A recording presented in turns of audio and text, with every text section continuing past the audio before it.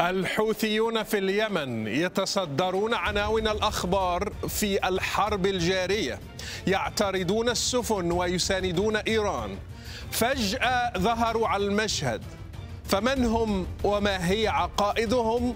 ولماذا يشاركون في الحرب الحالية؟ وما هي خطورتهم على الشرق الأوسط والعالم؟ هذا ما سنعرفه في هذه الحلقة وبكل وضوح.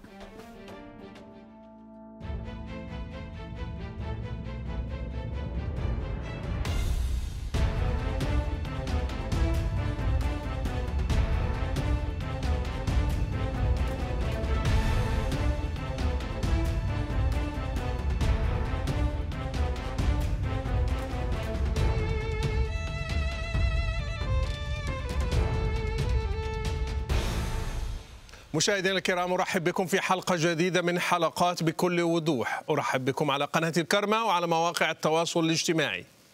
من هم الحوثيون؟ هل هم شيعة أم سنة؟ وإذا كانوا من الشيعة هل هم من الشيعة الاثني عشرية أم فرع آخر؟ كيف ظهروا في الساحة اليمنية؟ ما علاقتهم بإيران وحماس وحزب الله؟ ما هي عقائدهم خاصة تجاه الغرب وتجاه اليهود؟ لماذا أعلنوا الحرب على السفن وتسببوا في خراب اقتصادي لدول المنطقة؟ ما هي عقائدهم؟ ما هي شعاراتهم؟ ما هي غايتهم؟ هناك أسئلة كثيرة ينبغي أن نطرحها لنوضح الحقيقة الكاملة حول هذه الجماعة التي تحكم أجزاء من اليمن وتهدد السلم العالمي. دعونا نخوض في الموضوع وبكل وضوح مع الأستاذ مجدي خليل أرحب بك. خبيرا ومحللا لما يجري في المنطقة. أشكرك أخي رشيد وشكرا لك على الاستضافة وأهلا بجميع مشاهديك حول العالم. فقط نصيحة لكل المشاهدين لو أنت لا تعرف أي شيء عن الحوثيين هذه الحلقة كفيلة بأن تغنيك عن أي مصدر آخر عن الحوثيين. هي شاملة وجامعة وأحاول أطرح فيها كل الأسئلة التي يطرحها المشاهد. خلينا نبدأ. في, في, في المغرب الحوت من غير ثاء معجمة. إحنا الثاء معجمة ما نهتمش فيها المغرب. بنقول كل شيء تاء فلما سمعت الحوتي وكانوا بياع الحوت الحوت هو السمك عندنا في المغرب. لكن طبعا ملوش علاقة بالموضوع. من هم الحوثيون؟ تمام. إيه مذهبهم؟ تمام. وهل هم ضمن فرق الشيعة؟ إحنا عايزين نعرف. هم ضمن فرق الشيعة. تمام. الشيعة انقسموا أربع مرات بس دول منهم. هوضحها دلوقتي. مم. فبالتالي الشيعة ال ال الكور الأساس بتاع الشيعة إنهم بيعترفوا إن علي كان له الأولوية والأحقية عن أبو بكر وعن عمر وعن عثمان. دي, دي الشيعة. آه. دي مفهوم الشيعة. طيب باختصار. باختصار. بس هم منقسمين. واحد يقول لك ده بأمر إلهي حديث الغدير اللي هم الاثنا عشرية. والزيديين بيقولوا إن إحنا لا هو بالأحقية والجدارة وكل شيء هو اللي كان يستحق إن هو فمتفقين إن علي له الأحقية. تمام. بس ده بأمر ديني وده بأمر أخلاقي وأمر كفاءة. أوكي طيب مين هم بقى؟ الشيعة ليه سموهم زيديين؟ ليه الحوثيين اسمهم ينتمون إلى المذهب الزيدية دي الحوثيين. إيه هو المذهب؟ نسبة إلى زيد ابن علي ابن الحسين ابن علي ابن أبي طالب. آه، ده قام بثورة على هشام بن عبد الملك سنة 122 هجرية وتم قتله وصلب جثته. وصلب جثته لما قام على ثورة على الأمويين. أما كلمة حوثي نفسها فتسموا الزيديين الزيدين. أما كلمة حوثي نفسها فهي تأتي إلى بدر الدين الحوثي هو كان نزح إلى صعدة من بلدة صغيرة اسمها حوث في شمال اليمن. آه فهي الحوثيين. نسبة إلى منطقة. ده, ده عيلة حاكمة حاليا بس ضمن الزيدية. ضمن الزيدية. هي, هي نسبة إلى منطقة. زي ما نقول القريشي زي آه، قريش- للقريش آه، الحوثي. وبعدين صار نسل بي بيقولوا بالظبط، نسبة بالظبط، للقريش بالظبط، كده. بالظبط فبالتالي هم ده الاسم بتاع الحوثيين. أما ال- الأربع آه، انقسامات ال- الشيعية حصل انقسام بعد الإمام الرابع عشان هم زيدين اللي هو الإمام علي زيد العابدين. فواحد قال نختار ابنه محمد ودول اللي استمروا الإمامية. وهم قالوا نختار ابنه زيد زيد زين زيد ابن علي آه، ابن زين العابدين. ده هم كده يبقى تبع مين؟ زيد. فمسمم زيديين عشان زيد. وبعد كده انقسموا تاني بعد الإمام السادس اللي هو جعفر آه، ابن علي اللي مسمينه الصادق. هم ما, بي ما بيؤمنوش بالأئمة اللي جو من بعد. هم بس آخرهم زيد, زيد. بن علي. وهم أئمتهم بقى الخاصة. آه. بعد زيد بن علي هم بيؤمنوا زي الشيعة برضو. الأئمة من قريش. فهم أطول أئمة من سنة 284 يحيى الهادي اللي أس الأول واحد أسس الحو... الزيدية في اليمن سنة 284 هجرية سنة 898 ميلادية. ولحد دلوقتي هم بيؤمنوا امام امام إمام. يعني حكم ديني متسلسل أوكي؟ خليني أشرح آه، ب- آه، ألخص. آه. الحوثيون فرقة شيعية. أكيد. بيختلفوا عن الاثنى عشرية لأنه توقفوا عن زيد بن علي بن زين العابدين آه، اللي هو يس الرابع ده. الخليفة لا لا لا خلينا نقول الإمام ال- الرابع. الخامس عندهم هو. كان آه. قبل في قبليه أربعة متفقين عليهم. آه، أربعة بي بي بيشتركوا فيهم مع الباقين مع الباقين والب- لكن الخامس بتاعهم, بتاعهم هم. وبعد كده افترقوا عنهم وصار لهم أئمتهم الخاصة. بالظبط وأمت وهم بيؤمنوا إنهم من سلالة محمد ومن قريش. قريش ولازم يحكموا. ولازم الإمام يحكم. لهم الحق الإلهي في الحكم. ولهم الحق والناس بتديهم ال- ال- الخمس. وسلالة وراثية. سلالة تحكم من سنة 284 حكموا أكثر من 1100 سنة في, في المنطقة دي في شمال اليمن. طيب. وبيعتبروا حقيتهم بناء على آه، انتمائهم ال- إلى ال- قريش. إلى ق- ولا الإمام زيد. إلى الإمام زيد. طيب. تمام. طيب. إحنا, إحنا فهمنا دلوقتي. الشيعة انقسموا أربع مرات. مرة عند الإمام زيد ومرة بعد جعفر الصادق اللي هو الإمام السادس وده طلع منهم جماعة اعترفوا بابنه إسماعيل وجماعة قالوا ابن موسى اللي بعده فاختلفوا فطلعت اللي هم الإسماعيلية لأن ابنه إسماعيل مات قبل اسماعيليين موجودين فين. الاسماعيليين موجودين في ايران في إيران وحكموا مصر اللي هم اللي هم الفاطميين اسم... اسم... إسماعيلية نزارية اللي هم الحشاشين اللي كانوا في إيران وإسماعيلية مستعلية موجودين في بعض أماكن في العالم وحكم مصر لكن اللي في إيران دلوقتي ال ال اثنا الغالبيه عشرية، العظمى اثنا عشرية. 12 في العراق ولب- والائمه 12 طبعا. بعد- هم وهم الغالبية الشيعة وهم غالبية الشعب في العالم في العالم. اللي آه، آه، هم موجودين في إيران وفي العراق وفي لبنان آه، في بقى تاني الم- خ- خ- خليني أسأل هنا آه. الزيديين كانوا مختلفين مع الاثني عشرية هي هبين لك الاختلافات. آه، هبين لك الاختلافات. طيب، تمام. وبعد أنا قلت لك انقسموا. عند الإمام الرابع وعند الإمام السادس طلعوا الإسماعيليين وعند الإمام ال11 قالوا بدل ابنه التلميذ بتاعه التلميذ بتاعه محمد بن نصير النمري ودول اللي هم العلويين أو النصيرية آه اللي هم في سوريا تقريبا واللي اللي وصلوا لحد ال 12 هم الاثنى عشرية اللي هم. الفرقة الكبيرة ماشي آه، آه. وإحنا عملنا حلقة أنا وأنت اسمها نواصب وروافد. آه. الناس عاوزة ترجع لها فيها تفاصيل عن كل الحاجات دي طيب. مهمة دي طيب أوكي طيب الزيدية ده لما دخلت زي ما قلت يحيى الهادي سنة 284 بس طلع واحد تاني اسمه آه، الجارودي. آه، هم منقسمين إلى الهدوية والجارودية. الهدوية ب... كله ده في اليمن؟ في- اليمن في الزيدية نفسها. بس الأغلبية هدوية بس فيها الجارودية. ابن جارود. دول بيكفروا آه، آه، آه، عمر وعائشة الجارودية. والتانيين بيقولوا إن هم كويسين أفاضل بس علي أفضل منهم ويستحق أفضل منهم. الهدويه يعني مت- شوية مش قصات على السنة زي التانيين. بالظبط. طب إيه الخلاف بينه وبين ال- الاثنى عشرية بين الزيدية وبين الاثنى عشرية؟ ده, ده مهم ده. أيوه.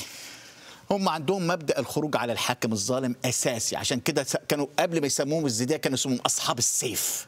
آه. هم قصاة محاربين مقاتلين جدا شرسين فهم أصحاب السيف الزيدين. عشان ع- عشان زين العابدين بن علي خرج على الأمويين ومات ومات في, سبيل ذلك. عندهم ما عندهمش عدم عندهم عدم عصمة الأئمة التانيين عندهم عصمة الأئمة الاثنى عشر كم- كمان. فالاثني عشرية ما كانوش بيخرجوا على الحكام على فكرة. كانوا بيعملوا التقية. آه آه آه ده أصلا التقية واصلا إن الإثنى عشرية ما عندهمش نظام للحكم الوحيد اللي عمله الخميني. آه مستني كانوا مستنين المهدي يرجع وبعدها هو بتصير- اللي يحكم. آه آه. الخميني قال أنا نائب المهدي فحل معضلة شكل الحكم. أما دول عندهم شكل الحكم كانوا بيقول لك لا إحنا نزيل الحاكم الظالم إحنا. وإحنا نحكم لأن إحنا بتوع قريش. وإحنا أحفاد علي وكده كلام. زي كده. بيؤمنوا بالعنف لإزالة الحاكم الظالم. طبعا يؤمنوا أساسي بالعنف ده آه لا يقرون زواج المتعة آه، ما يؤمنون بال- بيقبلوش زواج المتعة آه لا, لا ما. ما يقبلوش قوي التقية بس ز- آه، قبولهم للتقية يعادل قبول السنة السنة عندهم تقية ما أنا عارف كله ما أنا- كله عنده تقية آه كله عنده تقية لكن في مستوى درجات السنة. عند درجات. الشيعة الإثني آه، آه، عشريه آه، وصلت آه. لمستوى كبير آه. آه ليس لديهم حسينات مساجد برضو زي حسينيات يعني. الحسينيات عندهم مصادر التشريع زي السنة القرآن والسنة والإجماع والقياس دي مصادر التشريع عندهم ماشي آه الإمامة في قريش زي ما قلت إن الإمامة في قريش يعني هم عندهم كمان عشان هم آه، نظام ديني وراثي قبلي متخلف جدا دولة دينية نعم. دولة دينية فهم عندهم الطبقات الدينية. آه، ال- الأئمة في الأول في القمة قريش طبقة السادة وبعد كده شيوخ القبائل وبعد كده الفقهاء من الزيدية وبعد كده الفقهاء من الشيع من الشافعية لأن في شوية شافعية في, في اليمن وبعد كده باقي البشر كلهم في, العوام. في القاع يعني العوام. طيب. آه، وطبعا كل واحد بيحظى بامتيازات خاصة. طبعا طبعا امتيازات في الحكم والسلطة. وفي الفلوس. وفي الفلوس وفي كل شيء. هو هو طبقة حاكمة آه، آه، ترى نفسها أنها ورثت قريش ولها الحقوق كلها. الحق ال- ال- في الكرامة الدينية الحق في الفقه والحق في الحكم. هم دول الزيدية. تمام. طب إيه علاقتهم بإيران؟ عفوا أنا كان عندي عشان كده ما عملتش الحلقة ال- ال- الماضية كان عندي برد شديد ألف سلام ألف سلام. آه، فهتسمعوا ال- ال- ال- الكحة مرة وثانية أنا ب- بعتذر. ال- الحوثيون داخلين الحرب امم مساندين لحزب الله. تمام. مساندين لحماس. بيعتبروا دراع لإيران. لكن عقائدهم واضح إنه بتختلف عن شوية. الاثني عشرية يختلف في طبعاً. بعض الأمور طبعاً. فإيه علاقتهم بإيران وحزب الله في الأول قبل ما ادخل لعلاقتهم مثلا بحماس أضيف سؤال كده أقول لك مع حماس خلينا مع على الأقل الفرق اللي معروفة إن الشيعه آه، قبل ما نشوف علاقتهم بإيران لازم نفرق بين ثلاث مصطلحات مم. التشيع المذهبي هم زيديين آه. زيديين. طيب. منقسمين هدويين وجاروديين ده زيديين. زي ما قلت. آه. آه. كمان ده التشيع المذهبي. في التشيع السياسي. إيه التشيع السياسي اللي هو اللي هو ال- ال- اللي بيسموه الهلال الشيعي؟ إيه التشيع السياسي؟ إيران قالت إن إحنا ما نقفش عند الفوارق اللي بين الفرق الشيعية كلها سواء إسماعيلية أو سواء علويه أو, إباضية. سواء زيدية أو أي ش... أي فرقة ما نقفش عند الفوارق عشان نعمل محور شيعي. ده هم جزء من التشيع السياسي. ده ده ده ف... فبالتالي هم جزء من الت... في بقى التشيع الأيديولوجي. التشيع الأيديولوجي انك تاخد طريق ولاية الفقيه في انتزاع السلطة في الحكم بالقوة في استخدام التنظيم التنظيمات زي زي ولاية الفقيه. هم أرض أيضا ضمن التشيع الأيديولوجي. على فكرة الإثنى عشرية نصا تقول اللي ما يؤمنش بال 12 إمام كاملين هو كافر. بس هم تجاوزوا إيران تجاوزت. في سبيل في سبيل الأيديولوجيا. والسياسة في سبيل التشيع السياسي. فبالتالي آه هم آه ده بالنسبة ل- عشان تفهم علاقتهم بإيران تفهم الثلاث حاجات دول الأساسيين. طيب إيه علاقتهم بإيران بقى؟ علاقتهم بإيران واسعة جدا جدا جدا مرتبطة جدا جدا. منذ أن ال ال ال ال الزيدية سقطت في اليمن سنة 1962 سقط آخر إمام محمد البدر. أسقطه وتسمت الجمهورية اليمنية.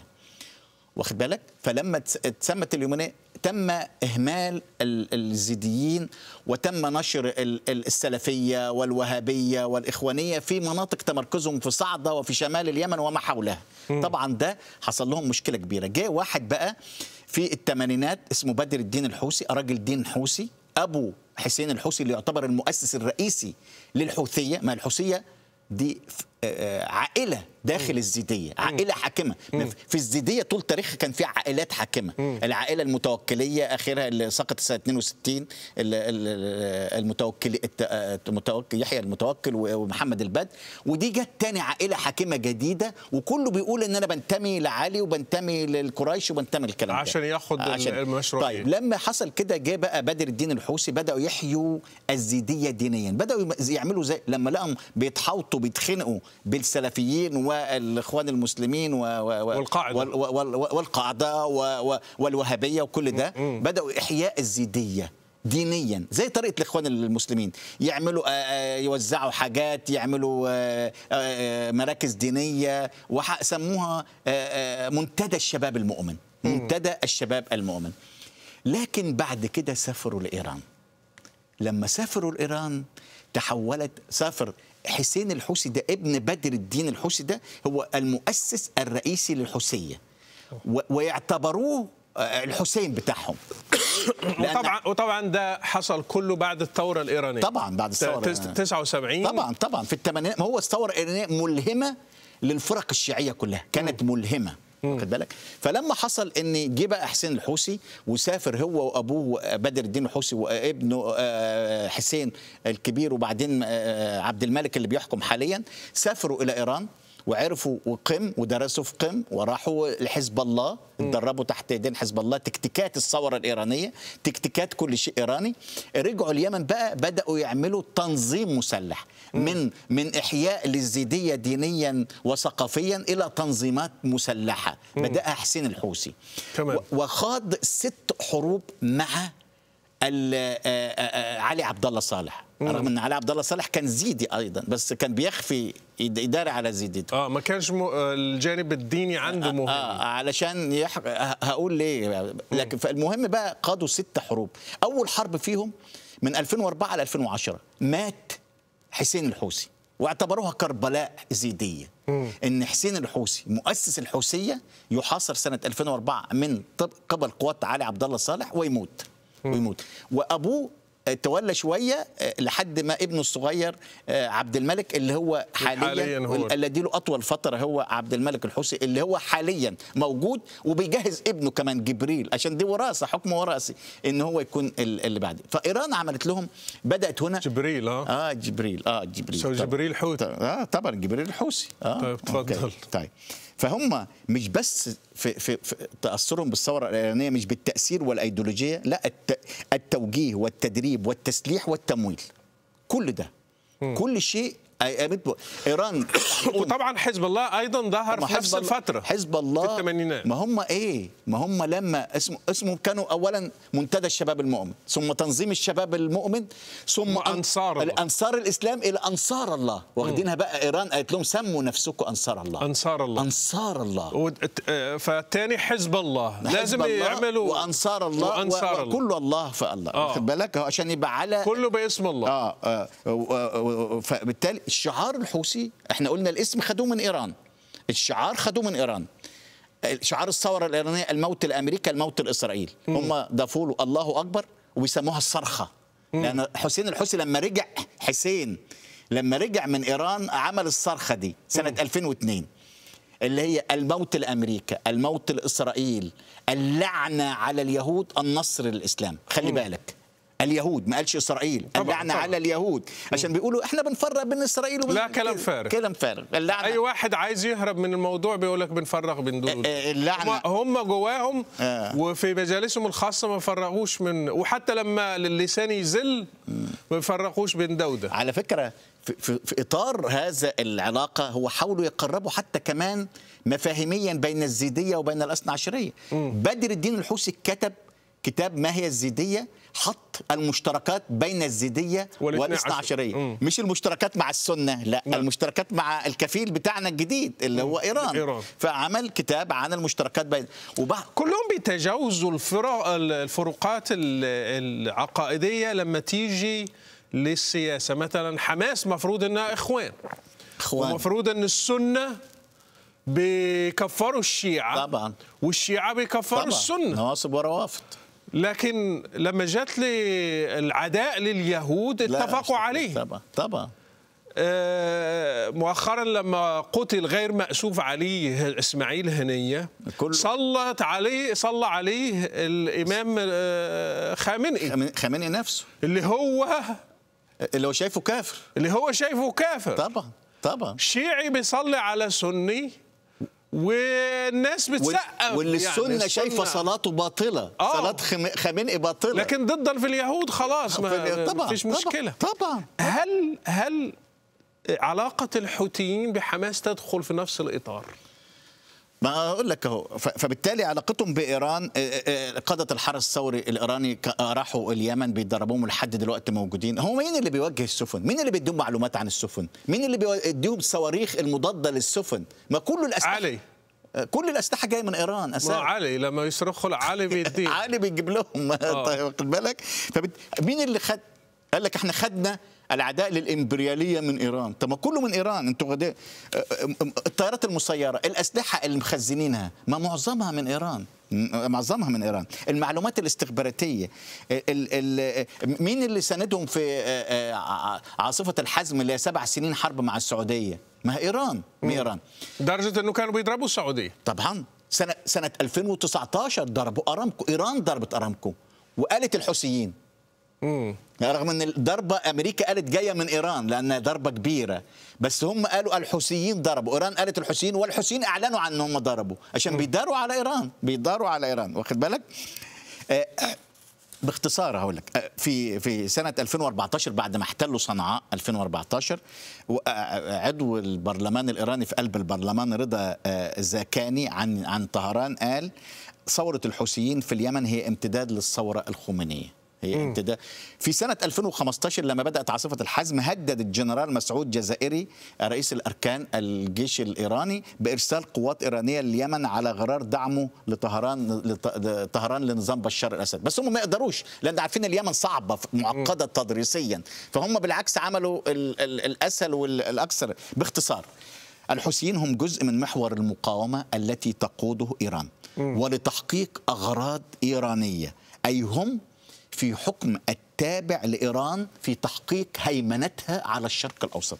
هم هم بيدعوا أن هم مستقلين لكن هم عمليا. دراع لإيران ما فيش. ذراع ما هو محور الش... محور المقاومة يعني أنت تب... مين اللي بيقود محور المقاومة؟ مين إيران. القائد؟ إيران بيح... عشان يحقق أهداف إيه؟ مش إيرانية؟ طبعا وأهدافها مش الهيمنة على الشرق الأوسط؟ ما فيش شك طب الحوثي هو ذراع لإيران تابع لإيران في مسألة الهيمنة على الشرق الأوسط وتحقيق الأهداف الإيرانية ومجرد الحوثي أداة ورغم ادعائهم الكبير إن إحنا حلفاء حلفاء إزاي؟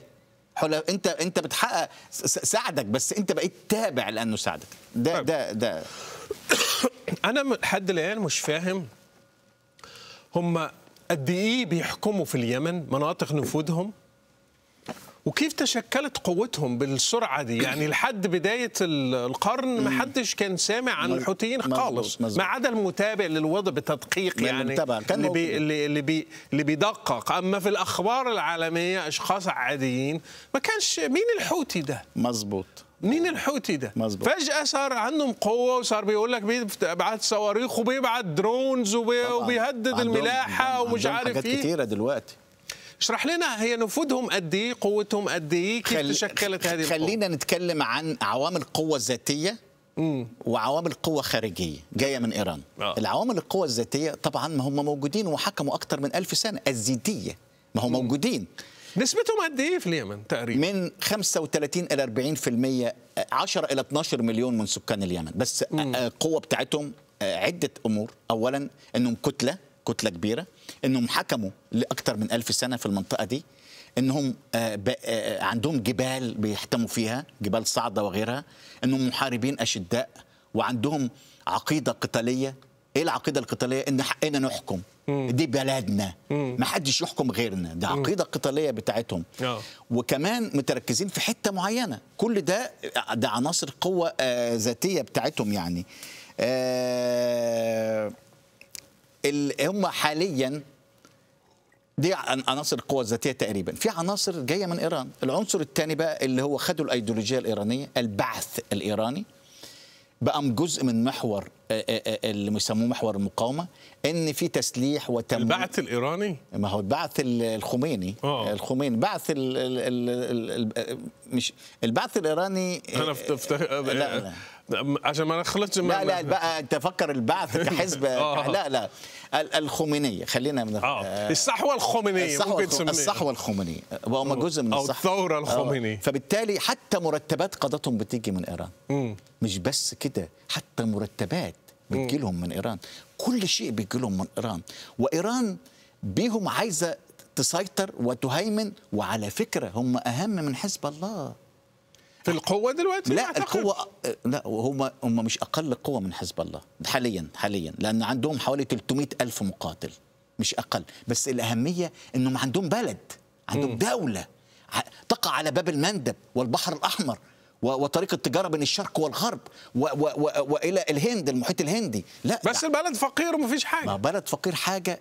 ال- الفقير ممكن يبقى خطير في فرق بين إنك تبقى فقير وفرق إنك تبقى خطير. هو خطير. مش مش حاجة قليلة. فبالتالي هم آه، ده اللي خلاهم آه، هم قد إيه ماسكين كمان اراضي في اليمن؟ استولوا استولوا على أسلحة الجيش اليمني. تحالفوا مع علي عبد الله صالح في سنة 2014 خلاهم استولوا على على صنعاء.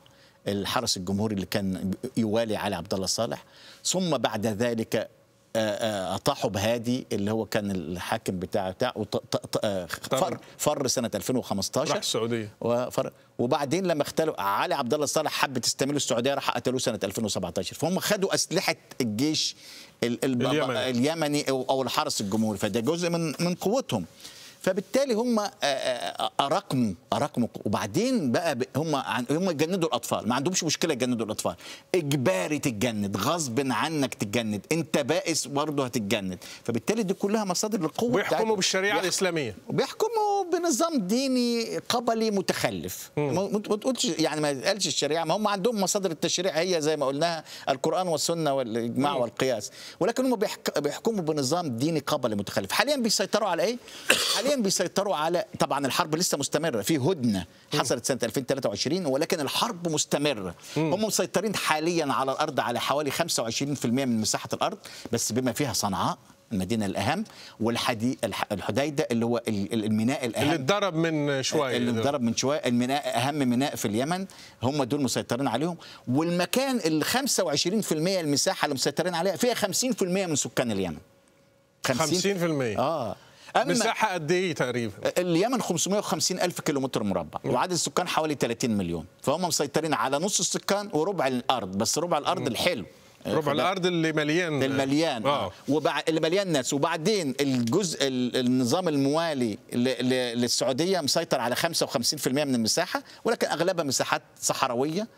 آه، والجزء ال- الموالي لل... للإمارات في المجلس الانتقالي في الجنوب مسيطر على حوالي 20% بس حتة حلوة اللي هي عدن و... و... والحتة الجميلة اللي كانت تحت حكم الإنجليز آه، في آه، في الجنوب. فده ده بالنسبة لل ال- م- م- مص- م- منطقه مناطق نفوذهم يعني.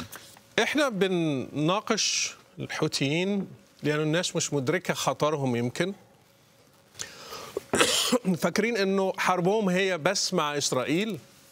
لكن إحنا شفنا إنه مثلا أثروا على اقتصاد مصر. طبعا. وأثروا على سفن آه، رايحة لبلدان كثيره وحيأثروا على العالم حيأثروا اقتصاديا. شئت أم أبيت أي واحد يعني بي- بيشوف هتتاثر بطريقة أو بأخرى بالصراع الموجود إيه خطورة الحوثيين على الشرق الأوسط والعالم؟ طبعا. في في في خطورة تتعلق بجيوستراتيجية في خط- خطورة جيوستراتيجية إن هم عاوزين إيران إيران عندها مضيق هرمز عاوزين إيران تسيطر على باب المندب وعلى البحر الأحمر يبقى تسيطر على المنطقة تسيطر على مجرى هم مجرى أهم واحد التجارة الطرق تجارة. أهم أه- واحد من أهم طرق التجارة في العالم. 12% من التجارة العالمية بتمر بباب المندب. فهم بيعملوا ده مش لصالحهم لصالح إيران. إيران القوى الإقليمية المهيمنة. فإنك أنت لما إيران بقى تسيطر بقى تدخل على بحر العرب والبحر الأحمر والمحيط ال- الهندي وخطوط وباب المندب ومضيق هرمز يبقى سيطرت على المنطقة. بحريا سيطرت على المنطقة. ده ده الخطورة الأساسية. ده خطر جيوستراتيجي كبير. خطر جيو استراتيجي كبير. كمان إن هم أثروا على في الفترة اللي فاتت على التجارة الدولية بشكل كبير. رفعوا سلاسل التوريدات تأخرت لأن بيلفوا حوالين رأس الرجاء السالح السفن الكبرى دلوقتي بتلف حوالين آه، آه، زيادة 15 يوم آه، في الرحلة. آه، كمان تكاليف ال- التأمين تكاليف كل شيء اضروا ب 55 دولة. 55 دولة أضيرت. بما فيهم أنت قلت مصر. يعني مثلا السفن ال- في يناير 2024 عدد السفن اللي عدت من قناة السويس 150 يناير 23 كانت 400 يعني أكثر من 50% أكثر من 50 والسبب آه، تهديدات الحوثي. طبعا تهديدات الحوثي. خلت الشركات التأمين الكبرى ال- آه، بتلف حوالين رأس الرجاء الصالح رجعت لما قبل قناة السويس وبالتالي حصل زيادة في في التكلفة زيادة في التضخم العالمي زيادة في الت- التأثير على التجارة الدولية وكله لصالح إيران. وده هذا هذا هذا هو الخطر. آه، كمان أنت بتتكلم عن انت بتتكلم عن طالبان لما حك... حكم الدولة بس دي دولة مح- حبيسة ما مش واقعة على أي حاجة مش مم. واقعة على ممرات آه. أفغانستان دولة حبيسة ومع هذا كان مثلت خطر على العالم ولا مثلتش خطر على العالم طبعا.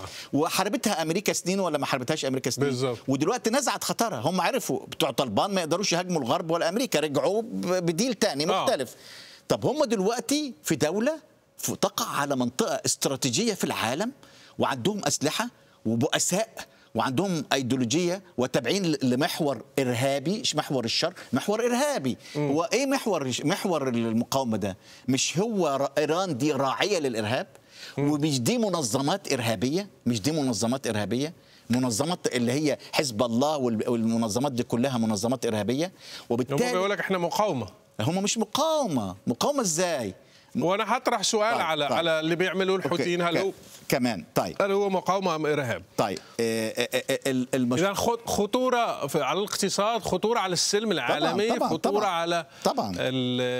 يعني ال- الاستقرار في المنطقة طبعا أنا طبعا أنا أقول لك حتى Foreign Affairs كتبت إيه المشروع الحوثي يحاول مساعدة إيران في الهيمنة على الملاحة في البحر الأحمر ومضيق باب المندب الحوثيون باتوا شركاء رئيسيين في سعي إيران للهيمنة الإقليمية وكمان أقول لك يعني خطورتهم. يعني هم قاموا بتخريج 45 ألف واحد قالوا دول قوات طوفان الأقصى.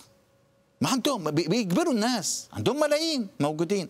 وقالوا إن إحنا بنهدف لتجنيد واحد ونص مليون طفل من أجل معركة الفتح الموعود والجهاد المقدس. مم. هم كمان بيساعدوا إيران في تهريب البترول وقصر الحظر اللي عاملاها الأمم المتحدة وعاملاها الولايات المتحدة عليهم. بيساعدوا إيران بيتهرب بتغلوش. هم يغلوش على السفن تروح مرة السفن الإيرانية بالبترول. و- ويسا- ويساعدوا إيران في, في هذا الموضوع. طيب خليني أسألك أستاذ مجدي. لما قامت الحرب ما بين حماس وإسرائيل 7 أكتوبر طبعا حزب الله تدخل آه، بيسميه الإسناد. الإسناد آه. عشان ما يسيبوهمش لوحدهم تمام. وطبعا إيران ما قدرتش إيران مثل ما يقول مثل المغربي هم بياكلوا الشوك بأفواه التانيين. طبعا طبعا طبعا. هم هم ما بيروحوش مباشرة يعني معروف التكتيك بتاع إيران. بالعرب بيحاربوا بالعرب. آه بيحاربوا بالعرب. يعني أنا حارب بلبنان احارب بالعراق احارب باليمن. ومش هم تخرب الدول. و- واحارب بالفلسطينيين. طبعا. وأنا بعيد وإسرائيل وقعت الدرس ده عشان كده بدأت تضرب. تضربهم هم لأن- عشان أنا عشان توجعهم. أنا عشان ما تلعبش اللعبة لا. اللعبة دي مفهومة الحوثي دخل الحرب برضه رغم إنه بعيد طبعا. عن المنطقة لكن طبعا بحجة إنه إحنا ما مش هنسيب لن نتخلى عن فلسطين وتأجيج طبعا. المشاعر الدينية في طبعا. قلوب الناس طبعا طبعا ليه أعلن الحوثي الحرب على إسرائيل طبعا أول حاجة لأنهم بينفذوا أوامر إيرانية. لأنهم جزء من محور إيراني تقود إيران لأهداف إيرانية. يعني جاتهم الأوامر ادخلوا الحرب. دخلت جات لهم الأوامر ادخلوا الحرب طبعا. مم. الأوامر زي بتدي أوامر زي حزب الله زي الميليشيات الشيعية آه، في العراق زي ما عندهمش استقلالية في نظرك؟ ما عندهمش استقلالية خالص. الدعوة لأنهم عندهم استقلالية هم بي بي بيبرروها إن إحنا ايديولوجيا مست... آه، آه، مستقلين. هم بس بيساعدونا لوجه الله كده. أو إن إحنا منسجمين أهدافنا مع أهدافهم. هو الواقع غير كده. الواقع إيران ساعدتهم وهم بقى جزء من المحور الإيراني. هم بيقولوا على نفسهم إن إحنا جزء من محور المقاومة. يعني إيه جزء من محور المقاومة؟ تحت سلطه الخامنئي. طبعا. محور المقاومة يقوده خامنئي. يبقى إحنا ت- بناخد أوامر. ده أول حاجة. طيب. وزي ما قلت إن الموت لإسرائيل ده هو شعار جاي من إيران. هم شعارهم أصلا ادته لهم إيران. الموت لإسرائيل الموت لأمريكا. هو شعار إيران شعار الثورة الإسلامية في إيران. مم. تمام. كمان زي كل المستبدين القصاة اللي عاوزين يحصلوا على الشرعية الدينية والبطولات من آه، من إسرائيل من الهجوم على إسرائيل. على فكرة هم كانوا بيقولوا إن الهجوم هم في تقديراتهم الهجوم على إسرائيل ليس له تكلفة. مش ترد إسرائيل. هم دلوقتي بيعملوا حسابها 100 مرة بعد من بعد ما اتضرب ميناء بعد ما. اتضربت عرفوا إن في ثمن هم يقول لك بناخد بطولة وما وما نعم- ما, ما, ما فيش ثمن بندفعه. هم دلوقتي عرفوا ان إن الضربة الجاية هينهوا ميناء الحديدة خالص وممكن يساعدوا يساعدوا الدول اليمن الباقي اليمنيين إن يسيطروا على الحديده لو سيطروا على الحديدة خلاص خنقوا خنقوا الحوثيين. ما عندهمش ما عندهمش مرفأ ياخدوا مني يستقبلوا. كل استقبالهم بتاعتهم التجارة والمواد بياخدوها من ميدان. لو لو ساعدت إسرائيل ال- الحكومة اليمنية آه، اللي موجوده الاستيلاء على. طيب يبقى خلاص تمام تمام. وكمان يهربون للأمام. دايما لما تبقى عندك مشاكل وما بيدفعوش مرتبات وعندهم تذمر ومش عارف إيه إيه إيه اللي عندي؟ أهرب للأمام. ده جزء من تكتيكات ال ال حول الانظار لمشكله ثانية مشكلة تاني أكبر بقى والبطولة الأ- إحنا لنا آه، آه، مهمة عالمية مهمة دولية. بتصير أنت مستحي تتكلم عن آه أنتوا بتكلمونا عن إيه؟ بتكلمونا عن الأكل والشرب، ده إحنا في حرب مع الإمبريالية، إحنا في حرب مع أمريكا، إحنا في حرب مع الصهيونية، اسكتوا، لا صوت يعلو على صوت الحرب ضد الإمبريالية والصهيونية، ده الهروب للأمام. كمان الحرب توقفت. مع السعودية فبقى عندهم فائض ما هم عنيفين عاوزين يمارسوا العنف ب... كل المنظمات المتطرفة الإسلامية لا تتوقف عن العنف. يعني لما تتوقف من من ناحية لازم تمارسها من ناحية تاني لو تو لو لو توقفت من كل النواحي تقتل بعضيها يقتلوا بعضيها. اللي تدربوا على العنف وعندهم أيديولوجية العنف ما يقدروش يتوقفوا في هذا الموضوع. نعم. فهم بالتالي ال- كل هذه ال package خلتهم يتص... إن هم كجزء من من من محور. هم هم هل إسرائيل. قبل قبل هل إسرائيل في أي وقت من الأوقات هاجمت الحوثيين. أو ضربت اليمن. أو ضربت اليمن. أو هي احتلت أراضي من اليمن. أو أي شيء أو أي عداء لليمن. ولا حاجة. ال- ال- ال- 2000 2000 2700 كيلو تقريبا بينها وبين اليمن. ما فيش أي علاقة أساسا. طب هم ليه دخلوا؟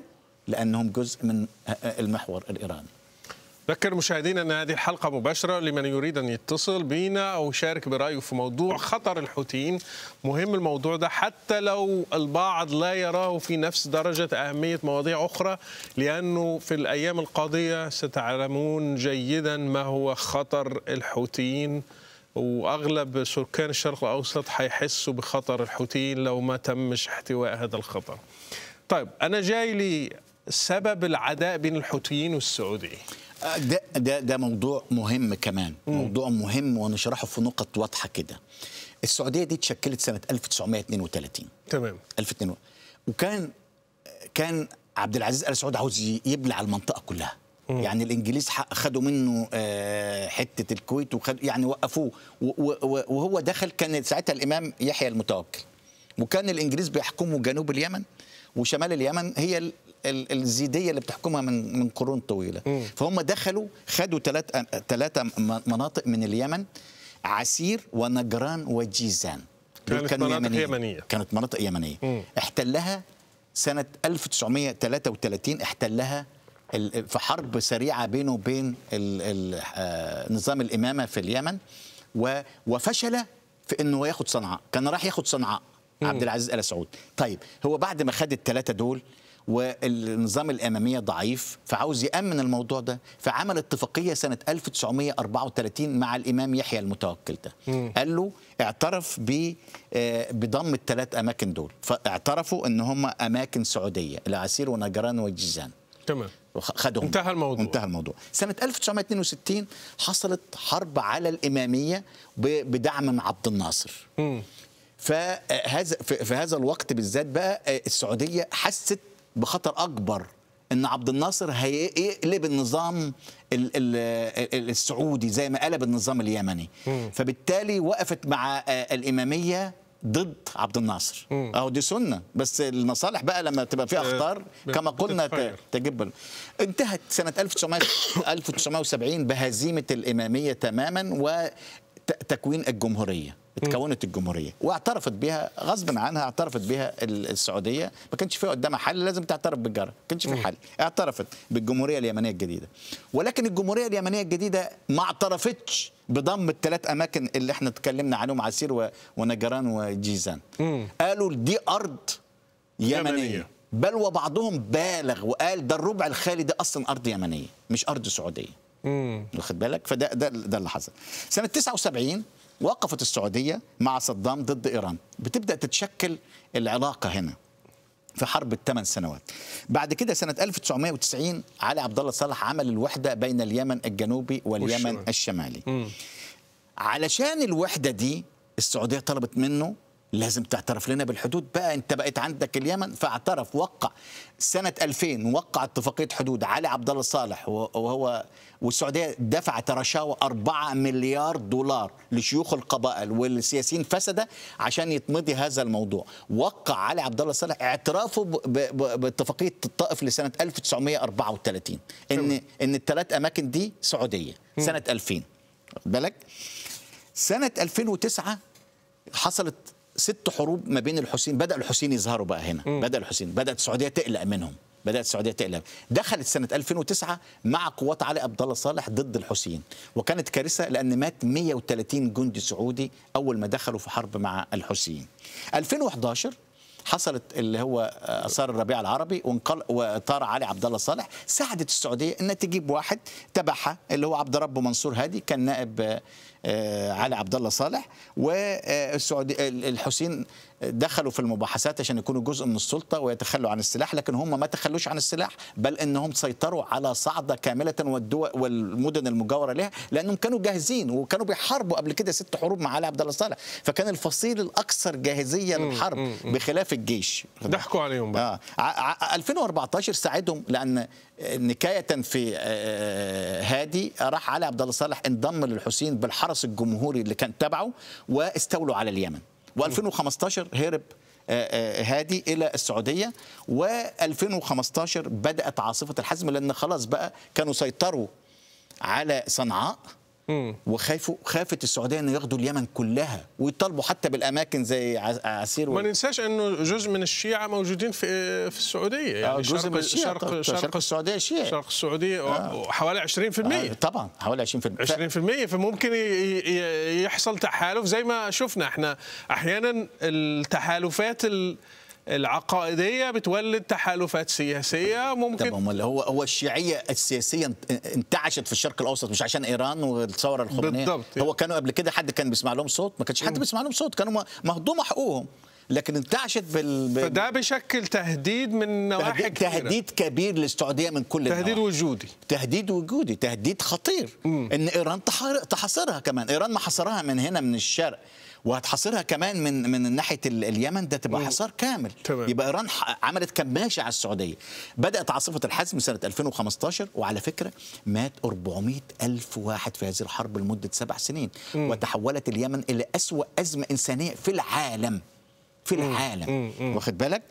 آه بعد كده السعودية حبت تجذب علي عبد الله صالح إنه كان برجماتي فراحوا قتلوا الحسين. 2023 حصلت اتفاق هدنة وقف للحرب بوساطه عمان آه، إنها وقفت من سنة 2023 الحرب لحد هذه اللحظة وقف الحرب ولكن آه، يعني هدنة مش هدنة مش- مش حل مش. اتفاق سلام. وعلى فكرة السعودية كانت متخيلة إنه حتنهي الحوثيين بسرعة.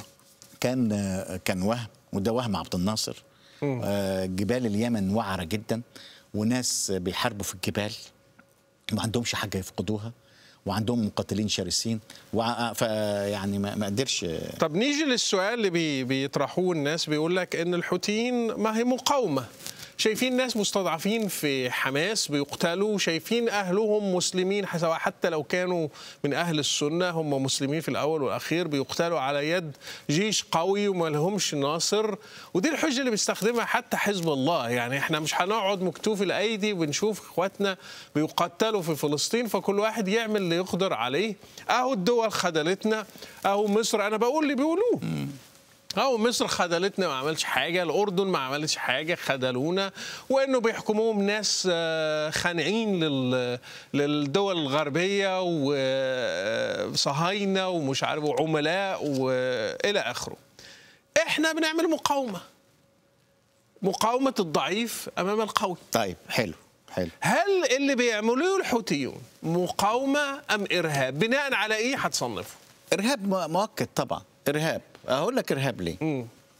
ده حتى وزراء خارجية الدول العربية كلها مجتمعين صنفوا الحوثيين كأنها كجماعة إرهابية سنة 2022 يعني أو صنفوا الإخوان بعد كل السنوات اللي اللي ما- دعموهم ما- صنفوهم في أنا بكلمك حتى قانونيا. 22 دولة عربية مصنفاهم إرهابيين. حتى قانونيا. 22 دولة عربية. طبعا كل الدول العربية. طيب الكلام ده لو أصلا إيران داخلة تسند فلسطين دي أو تسند حماس لأسباب فعلا اللي أنت قلتها. هم بيسندوها لأسباب سياسية جو, جو سياسية عاوزين يخترقوا المحور السني. هم لو أنت قريت أدبيات الشيعة الأقصى ده عندهم بيقول لك الأقصى في السماء الرابعة. كتير أدبيات الشيعة. وأدبيات الشيعة ما ما لا تفرقش معاهم آه، اسمها آه، القدس دي. ما آه، كربلاء والنجف عندهم أه- هي كربلاء والنجف كل حاجة. أحسن بكتير من أي أقصى ومن أي بالظبط. هو أصلا الوقت اللي هو في في في في الخلفية الشيعية القدس دي شيء باهت جدا. والأقصى أصلا اللي هو قال لك ده عملوا مسجد عمر ده عملوا بنو أمية. والأمويين.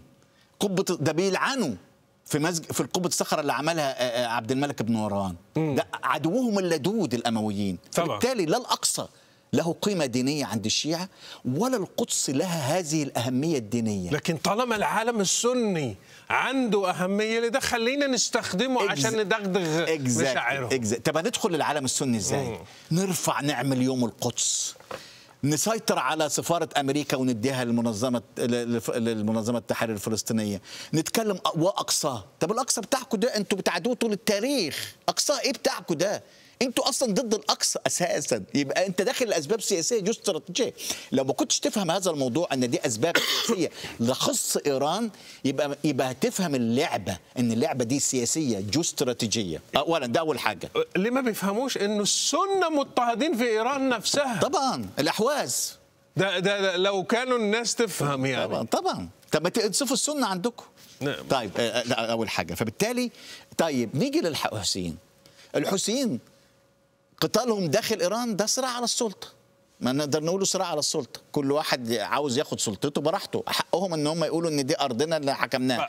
قتال داخل اليمن آه،. قصدي آسف آسف. داخل اليمن داخل اليمن. داخل اليمن ده صراع على السلطة. وهم لد- لديهم تصور بحقوقهم التاريخية في حكم وطالما هم يمنيين بينهم براحتهم يعني. ده آه. براحتهم. أما خارج اليمن على بعد 2700 كيلو أنت رايح ليه يا حوثي؟ رايح عشان جالي أوامر من إيران اللي لها أهداف استراتيجية في المنطقة دي. يبقى أنا رايح إن لعبة إيران مكشوفة ومن وراها الحوثيين طيب أول حاجة إطلاق الصواريخ أنت بتتكلم على مقاومة. م?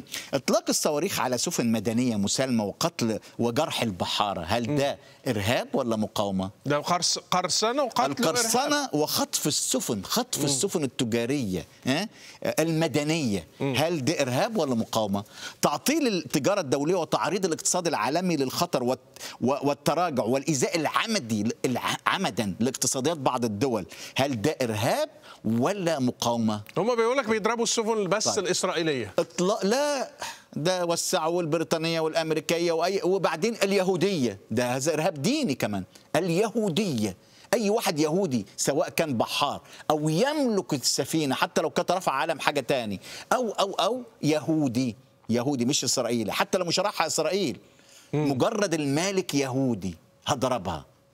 ده إرهاب ديني ولا مش إرهاب ديني؟ طيب إطلاق الصواريخ العشوائية هم ما عندهمش إيران ما عندهاش أسلحة ذكية عندها أسلحة غبية. ما إحنا شفنا يعني إيران ظهرت بحاج ب- بشكل لا يصدق انها طبعاً. نمر من ورق يعني. طبعا. طيب عندهم شوية أسلحة غبية شوية صواريخ واخد وطيارات مسيرة. الطيارات دي لما تطلقها على المدنيين على على انت غرضك أنا ماليش دعوة. تقع على مدني تقع على مدني تقع على على. حي، على حي على على- امراه على مدرسة على طفل أنا ماليش دعوة. ده مش إرهاب قتل المدنيين ولا مش إرهاب؟ ها؟ فبالتالي كل اللي بيعملوه هو ضرب عشوائي. ضرب عشوائي. كمان أنت أصلا أصلا أنت جزء من محور مقاومة اسمه ترعاه دولة اسمها راعية للإرهاب. أصلا منظمات إرهابية. المنظم الحشد الشعبي ده حزب الله ال- ال- ال- العراقي ده منظمة إرهابية مصنفة إرهابية. حزب الله مصنف منظمة إرهابية. حماس منظمة إرهابية. والآن اللي كانوا مترددين في جناحها السياسي وجناحها العسكري اختلطوا ببعض كلهم زي بعضهم دلوقتي. جناح حماس العسكري وال- والسياسي هو واحد دلوقتي. يبقى دي كلها منظمات إرهابية. وكما قلت أنا أنا عاوز أقول لك حاجة. هلخص الكلمة دي. الحوثيون منخرطون في أممية إسلامية جهادية شيعية. إحنا عندنا دلوقتي أممية إسلامية إس... على غرار ال- الأممية- الأموية الجهادية السنية اللي تمثلت في نظام الإخوان وتمثلت في القاعدة في والوهابية في, داعش في و- انتعاشها وكلام ده. فإحنا عندنا الناس مش قادرة تفهم إنه زي ما كان في إرهاب سني. طبعا. أنا لما كنت أتكلم عن القاعدة وعن عن داعش كثير من الناس كانوا مبسوطين. لكن لما تتكلم عن الإرهاب بشكل الشيعي الناس لسه عندها عندها لا شك. لا لا عندها شك مش فاهمة إنه ده مقابل لده. لا ده في أممية جهادية شيعية ل- لديها أغراض سياسية زي ما الإرهاب الإسلامي السني كانت له أغراض هو كان بيلعب بس كان عنده أغراض سياسية. ال- الأممية الجهادية الشيعية لها أغراض سياسية. و- وتتمثل حاليا فيما يسمى محور المقاومة. وبيعتقدوا إنه بعيد منهم يعني ملوش دعوة بيهم. لا طبعا. بعيد منهم ال ال الإرهاب الشيعي. الذي يمارس الإرهاب قد يمارسه ضد أي حد. طالما هو في أيديولوجيته أن يمارس الإرهاب هو بيشوف في الأول أهدافه القريبة وبعد كده يوسع أكتر والشيعة بعد كده ممكن توسع أكتر وت- وتتجه للغرب وكل حاجة إذا حققت أهدافها المحلية. فبالتالي ده وبالمناسبة ترامب صنف الحوثيين سنة 2020 منظمة إرهابية. رفعها. ورفعها الديمقراطيون. علشان يوقفوا حرب اليمن لأنه ما يقدروش عشان يدخلوا في مفاوضات. آه عشان ما يقدروش يدخلوا في مفاوضات مع منظمة. لكن رجعوهم رجعوهم رجعوهم آه، عادي شالوهم من منظمة من من ال... وفكروا في مؤخرا إن يشيلوهم يحطوهم تاني. فده هم هم مش مقاومة هي آه، آه، كل ما يقوم به الحوثيون هو إرهاب عمليات إرهابية ضد ناس في الشرق الأوسط. ضد إسرائيل ضد دول في الشرق الأوسط ضد الاقتصاد العالمي ضد الأمن الملاحة الدولية. أنا مستغرب في في ناشطين على السوشيال ميديا مصريين. اقتصادهم ضرب من. طرف الحوثيين. طبعا. لكن العمى طبعا. العمى العمل الدين الكراهية الدينية. والكراهية الدينية اليهود قاعد يسقف للحوثيين. طبعا طبعا. طبعا. وقاعد يمجد في الحوثيين طبعا. وما بيهموش انه اقتصاده مخروب. طبعا. و... و... إيه بتفسر ده؟ وعلى فكرة بعض صواريخ مسيرات الحسين وقعت في طابة وقتلت مصريين وجنود مصريين. لا هم مش شايفين ده. مش شايفين كده حاجة. هو آه، آه، هقول لك حاجة. ما قتل من الحوثيين قتلوه من المصريين في مسيراتهم أكتر من ما قتلوا واحد إسرائيلي بس. كل اللي عملوه اتقتل واحد إسرائيلي في الضربة الأخيرة على تل أبيب واتضربوا في المقابل بتاعها. مصر اتأذت من الحوثيين أضعاف أضعاف أضعاف إسرائيل. أضعاف. ممرها الملاحي اتجمد. هو مين ال... مين اللي فك دلوقتي حاليا رئيس القوات البحرية الأمريكية؟ قال إن إحنا خففنا 50% من خطر الحوثيين. ما زال في 50% على الملاحة الدولية. ولكن خفف مين اللي خفف آه، آه، آه، خطر الحوثيين على الملاحة؟ تحالف الإصدار اللي بتقوده الولايات المتحدة الأمريكية. طب المصريين مش استفادوا من التخفيف ده؟ طبعا استفاد طيب مش كانت قناة السويس دي مشلولة تم دلوقتي 50% خ- شلل 50% مش كانت مشلولة بشكل بشكل شبه. ال ال ال ما تقدرش تجادل مع الأعمى اللي مش شايف إلا إنه صاروخ بيضرب إسرائيل. غير كده إن شاء الله الدنيا كلها تخرب ما عنديش أي مشكلة. الكراهية الدينية تفقد الإنسان إنسانيته وعقله. عقله وإنسانيته. عقلك ده خلاص. إنسانيتك بتنتهي. أو اللبناني اللي قاعد يهلل للحوثيين وهو اقتصاده مخروب. أنا أنا بقى أنا بعض الفرق المسيحية في لبنان هي اللي مضايقاني ضيقه غير عادية. إزاي خرب لهم بلدهم وكسر المسيحي المسيحيين اتكسروا في ال- في الخمسين سنة الأخيرة في لبنان؟ وحزب الله بيقضي عليهم ورافض يعين رئيس مسيحي من سنتين دلوقتي وبعض المسيحيين بي- بي- بي- بيهللوا له الذمية نعمل إيه؟ طب- طب. إيه مستقبل الحوثيين في المنطقة؟ مستقبل الحوثيين في المنطقة دي يتوقف على مستقبل كذا كذا ملف. يت- يتوقف على مستقبل الصراع بين السعودية وإيران. ما في صراع ممتد. دي من سنة 79 يتوقف على مستقبل ما يسمى بمحور المقاومة. هل الغرب العالم هيكسر هذا المحور؟ لو اتكسرت حماس ثم اتكسرت حزب الله يبقى اتكسر جزء كبير من محور المقاومة. لو لو كسرت الإيمج والديجنتي بتاعت إيران وده اللي بيحصل حاليا تكسر. ضربت في شرفها مثل. ما قال حسن نصر الله. انه إنه إيران ضربت في في شرفها. شرفها. لو أنت ضربت كم ضربة وك... لو كسر يتوقف الحوثيين على ضرب محور المقاومه ده وكسره وكسر هيبقى آه، آه، آه، عملياته الإرهابية ونزع أسنانه نزع أسنانه. يتوقف كمان على الصراع في اليمن. ما هو لسه الصراع موجود في اليمن. ما خلصش الصراع في اليمن. أنا في تقديري الشخصي سينتهي اليمن إلى ما كان عليه. الجنوب هينفصل لأن الجنوب ده ثقافته أكثر وكان تحت الحكم الإنجليزي لمدة 129 سنة ومنفتح أكثر وفي حياة مدنية أكثر. والشمال اللي هو كان متخلف لمدة آه، آه، 1100 سنة هيرجع تاني ممكن يحكمه الحوثيين وحكم وراثي زي ما كان وابن آه، عبد الملك يبقى ابنه وتبقى المملكة الحوثية زي المملكة التوكلية زي المملكة مش عارفه إيه زي فما يحدث في اليمن أيضا كذلك بس هم عاوزين يشوفوا دلوقتي هنسيب لهم قد إيه من الأرض. هيعملوا دولتهم في قد إيه من الأرض. لسه ما, ما, ما اترسمتش الحدود بس هتترسم الحدود وهتنقسم اليمن. في تقديري الشخصي أن الحوثيين ممكن يحكموا شمال اليمن زي ما كانوا بس. هل حتبقى لهم نفس القوة في الأيام اللي جاية أو حت يتحجموا لا آه، ليهم نفس القوة. لأن أو, أو, أو عندهم قوة بيستعملوا شوية صواريخ من بعيد لبعيد. هم لو دخلوا لو دخلوا في صدام أوسع مع الغرب ومع الولايات المتحدة الأمريكية ومع إسرائيل يمكن اللي, اللي ممكن تكسرهم هي إسرائيل وتضرب شوية ضربات قوية والتحالف الغربي يسمح لليمنيين يساعد اليمنيين لوجستيا إن يحتلوا ميدان الحدا م- ميناء الحديده سؤال أخير لو انتهت الحرب الآن بين إسرائيل وحماس إحنا شايفين انه حماس في أواخر في لحظاتها الأخيرة يعني تلفظ أنفاسها يعني لدرجة إنه ما ما لاقوش حد. كله خايف يصير هو رئيس المكتب السياسي قالوا لبسها. لبس في السنوار السياسي والديني آه، وال- والعسكري. لو انتهت الحرب خلينا نقول في الخريف اللي جاي هل تعتقد إنه خطر الحوثيين راح؟ لا هيستمر. هم بيتلككوا دلوقتي بحجة إسرائيل وغزة. لو وقفت حرب غزة هيستمر الحوثيين لأن هم جزء من محور إيران. هم جزء من المحور الإيراني. حماس دلوقتي على وشك تنهار. يعني ما فيش إلا جيوب يقولوا جيوب بسيطة بتقاوم أوكي؟ أكتر من ال 80% من القادة الكبار اتضربت مجلس الشورى بتاعهم ما عادش فيه إلا أربعة كله حاجة حاجة اتكسرت اتكسرت. وإذا استمرت كام شهر تاني إسرائيل بنفس القوة هيتقتل السنوار وغيره وغيره والضيف راح و- مروان عيسى راح أيمن نوفل راح كل القيادات راح الكبار راحوا كلهم القادة الكبار راحوا كلهم. لكن هيستمر الحوثيين لتحقيق أغراض إيرانية. إن لم يتم كسر إيران نفسها بطريقة أو بأخرى وكسر هذا المحور بطريقة أو بأخرى فإن الحوثيين مستمرين لأن هم جزء من محور إيراني ولا ومسألة غزة وحرب غزة دي ده ده لعبة بس علشان يدوا لنفسهم شرعية. إحنا نبلاء وعاوزين نوقف حرب غزة. ويصيروا أبطال في ويصيروا أبطال في عيون الناس. أنا أشكرك على مد... يعني تغطية هذا الموضوع تغطية جيدة وأشكرك على بحثك الذي تقوم به. أشكركم مشاهدينا على متابعة هذه الحلقة. طبعا آه، كالعادة انتظرونا الأسبوع القادم في موضوع آخر وإن شاء الله بشكل مباشر ألقاكم يوم الخميس كالعادة وبكل وضوح.